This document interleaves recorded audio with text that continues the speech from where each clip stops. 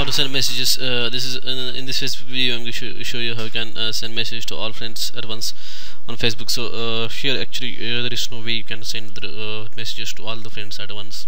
For example if you want to send message so you can go to the chat and then click on particular person's name and then send a message. So if you want to add uh, another friends you can uh, click on this and then add uh, multiple friends.